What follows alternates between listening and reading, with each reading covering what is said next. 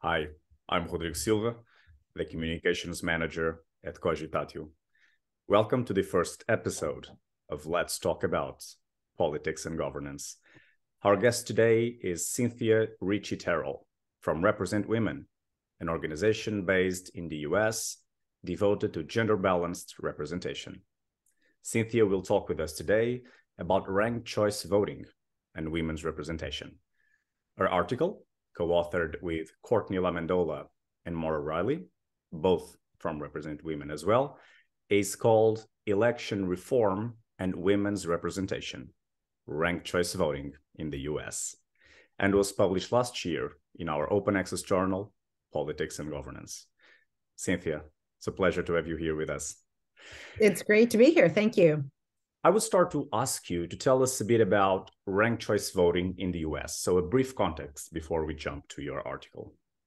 Uh, yes, that's a great question because I think that um, listeners may not appreciate uh, how much of an anomaly the American electoral system is. We have a um, uh, we have primary elections. We're a presidential system. We have an electoral college, which no other country in the world um, operates under. And uh, we still use a winner take all system. We're first past the post, which we, like Canada and um, Australia and New Zealand, inherited from the UK uh, 250 years ago, when that's what the system was that was was used for designing governments.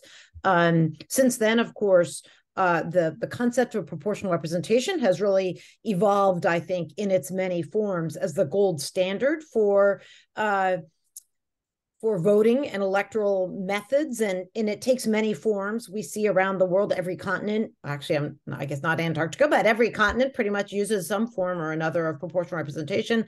But the United States, um, for a number of reasons, is still really, I would say, mired down in our winner take all zero sum game politics. And I think the events of the last few years um, have illustrated in almost tragic ways the impact of having um, an electoral system that is almost designed to um, tamp down the role of voters and to de incentivize the ability of elected officials to work together on policies that address the problems we all are facing.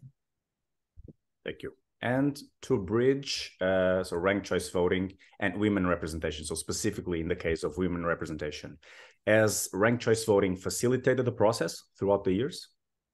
Yes, um, that's a great question. Uh, the United States has has always been an outlier um, among its allies in terms of the representation of women. Um, there was a time some years ago when the United States ranked, I think, 102nd uh, for women's representation. Now um, we've crept up. We're in the 70s now, and among OECD countries, um, I think we rank maybe 37th or something like that. Um, so the representation of women in the United States is low. And um, as a reminder, in this big year, breakthrough year, 2022, midterm elections, redistricting happened. Uh, we've added one woman to the House of Representatives. So we now have 124 women in the House. We had 123 before the elections we see um, a tiny bit more progress happening at the local or municipal level uh, for women's representation, but it's still less than a third of all elected representatives. Um, our uh, seats are held by women. Um, the the uh, the exciting data point that uh, we studied in this paper and is ongoing for us is looking at the jurisdictions that have moved on uh, beyond the winner take all voting system and have embraced uh, ranked choice voting or instant runoff voting in the United States. And uh, there are some early adopters of this in the Bay Area, where we've done some in the United States. That's um, Northern California, Oakland, San Francisco, Berkeley, um, in Minnesota, Minneapolis, and St. Paul, thanks to the great work of, of, of Jeanne Massey and her team at Fair Vote Minnesota.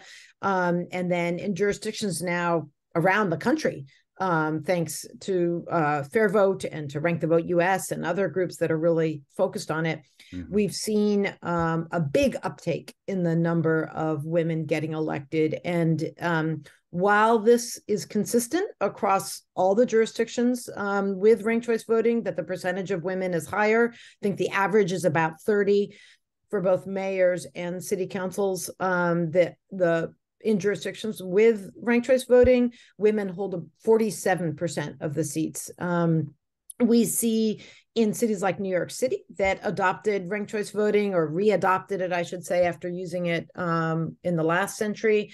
Women now hold 61% of seats. And um, New York is obviously such a huge case study. There are just so many millions of uh, people who live in New York City. That's been a really great um, model to look at because we saw um, sort of in living um, uh, uh, an example of how the system enabled more women to run without splitting the vote.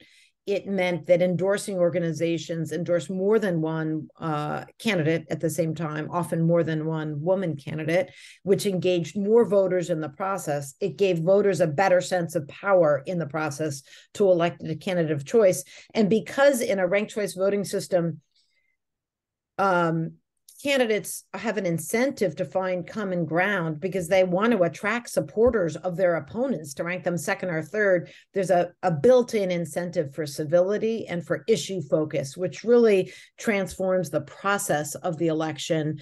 Um, so that was super exciting to see and um, as i as i said women hold 61% of seats mm-hmm. in in new york city and i think the data shows that 80% of the women on the New York City Council are women of color under the age of 40. And so it it transforms the um, not only who is who is on the council descriptively, but I think we're seeing now how it transforms the the lived experiences of the policymakers and thus the the kinds of policy uh, that that is established from those councils.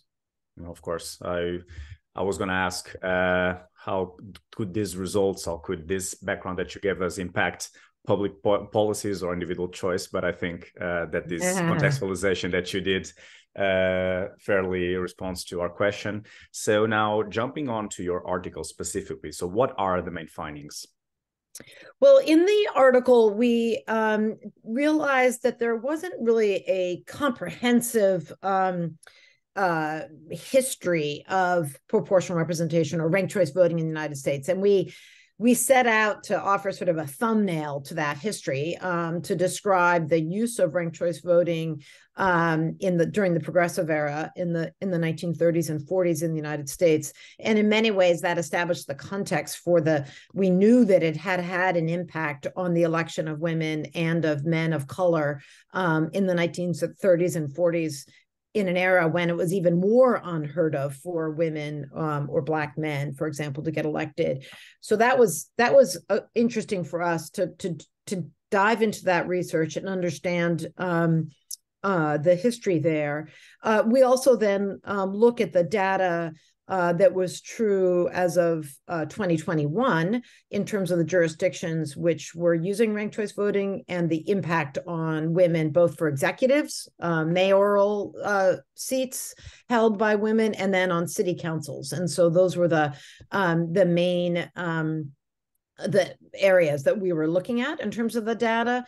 Um, so that was really exciting to you know as as you can imagine and and and listeners can imagine it's important to chart and really track what the data is telling us. If we're advocating for policies, we want to make sure we're really understanding not only what the numbers tell us, but what the, the qualitative experiences of candidates are in these systems. So I would say that uh, research that we did uh, was a really good way to establish a base point. And now, as millions more Americans are using ranked choice voting and we see more data, um, we will add to that research, and I think that will be a really good um, record of what the impact of, of ranked choice voting has been. Mm-hmm. Very good. And before we look uh, ahead into the future, the article you co-authored had dozens of thousands of views uh, on our website only, not counting all the debates that came with it.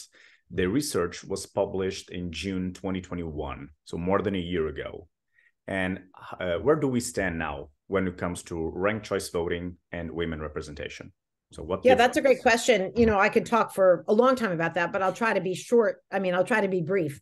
Um, we saw a number of jurisdictions use ranked choice voting. Um, well, one, the primary in New York City was in June. We saw those women win in November, so that was exciting. So we we now can um, focus and understand how that worked. I will say that one of the um, reasons for the success in in New York City was that there's a terrific organization called New Majority New York City that specifically recruited women to run for those positions and um, helped uh, them run an effective ranked choice voting campaign. Um, and I think uh, just anticipating a question you might ask me, which is um, how can we make sure that ranked choice voting is successfully implemented across the, the country? I would say um, the, the research that Represent Women has done is uh, focused on how we can really take full advantage of that. And that involves an organization like New Majority um, exporting that model to other jurisdictions. So, where it's used in a state like Maine or a state like Alaska,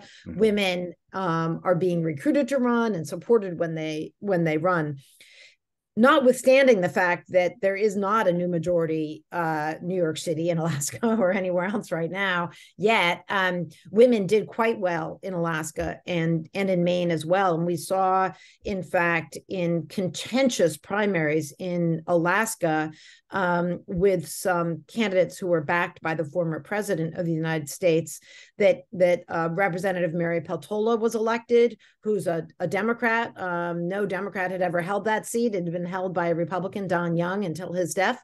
Um, he held it for 50 years, and uh, a Republican, Lisa Murkowski, um, won in the Senate in Alaska. So we see that, that those are really hopeful signs, not only because we think that they really reflect the views of Alaska voters who are pro fish and pro job and pro choice. I think that was the motto of, of Representative Peltola, but we see that as a really a way forward in this contentious era of American politics that a system like ranked choice voting really delivers the candidate whom the majority of voters want. And mm-hmm. that seems to me to be one of the most important underpinnings of a um, strong democracy is having representatives in office whom the majority of voters want. So uh, we see good news for women on that front.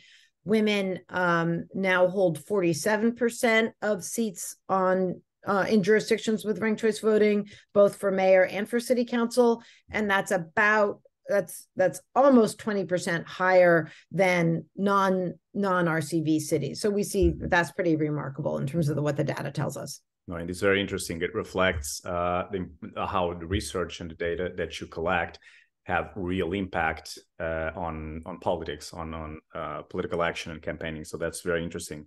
We, what I would ask what, to ask you now is what's now uh, left to research. So you mentioned before that there is research ongoing. Uh, you do this research on national level, at the local level. You also mentioned before uh, that New York is a good case study. Um, so, what's now ahead to to research on the topic? Yeah, I think that there, um, I think more research is needed on the best model. I mentioned the New York City, the new majority idea. Um, we want to track how many women are running for these seats, because of course that impacts how many women win, is to really understand how many and what kinds of women are running and how they are supported. Um, we also want to look at the jurisdictions that are using the multi-winner form of ranked choice voting, which has just been adopted in Portland, Oregon, and Portland, Maine, which is the same system that the Australian Senate uses, um, where you elect multiple representatives in a geographic area with a ranked system. Mm-hmm. One of the reasons that's particularly important to us is that in Australia, in the Senate, women hold 57% of the seats in that body. Um, and so that seems like a particularly auspicious thing for us to understand. It also happens to be the model that we're pushing for uh, Congress, uh, the Fair Representation Act. So we really want to understand how to not only how to advocate for that, what why it is that more women are getting elected in these multi-seat elections in the United States. I'm in Maryland right now in a multi-seat election with winner take all voting, but we want to understand how ranked choice voting and and uh, multi winner seats or districts um, uh, strengthen the opportunities for women and others who are marginalized from the political process. Mm-hmm.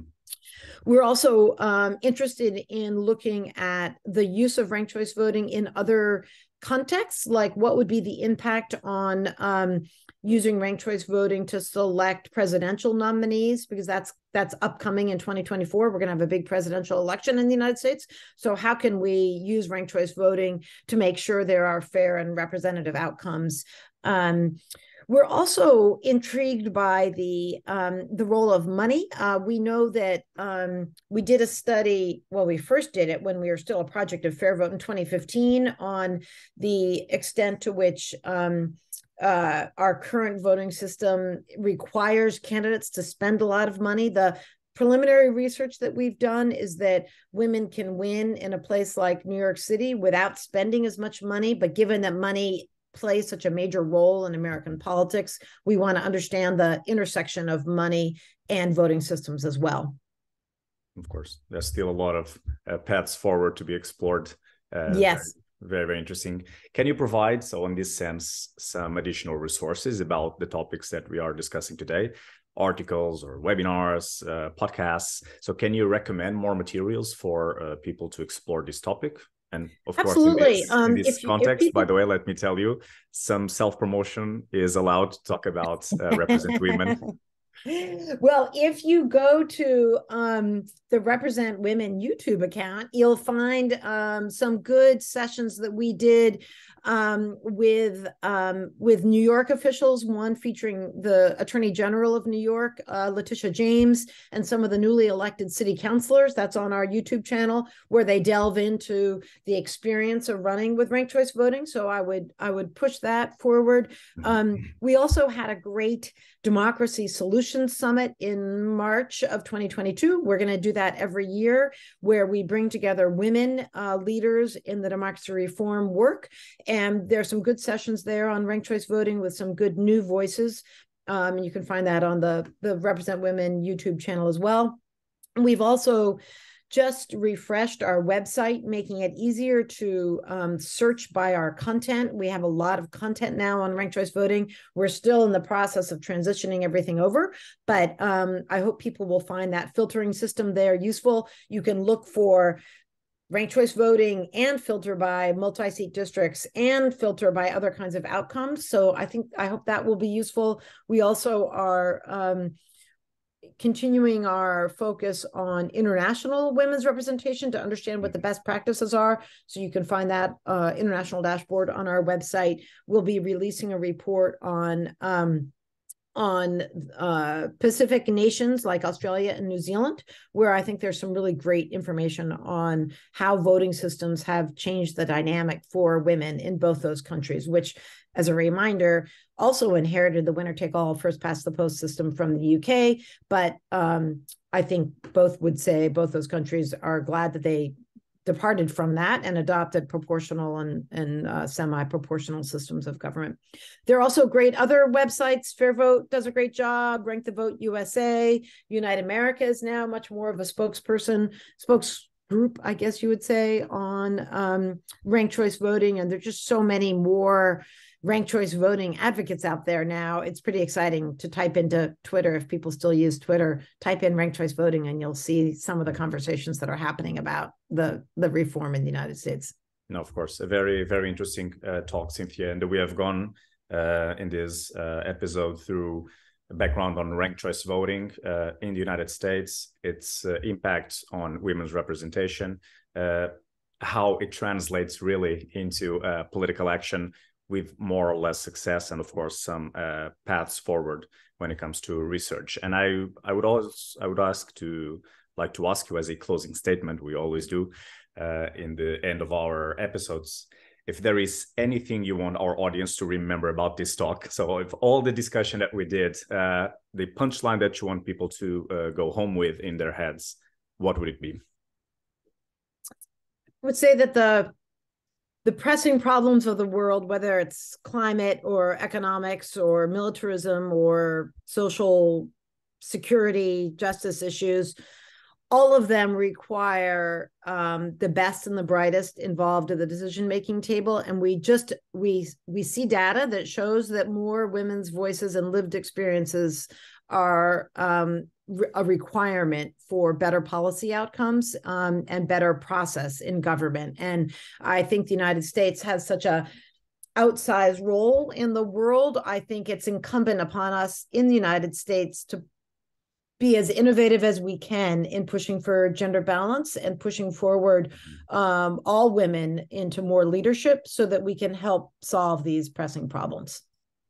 Thank you, Cynthia, for being with us today. The, the article is available on the journal's website, and this episode is available on the Let's Talk About Politics and Governance website, as well as on Cogitatio's YouTube channel and podcast directories. Thank you, Cynthia, for being here with us today. Thank you so much. Thank you. See you on our next episode. Sounds great.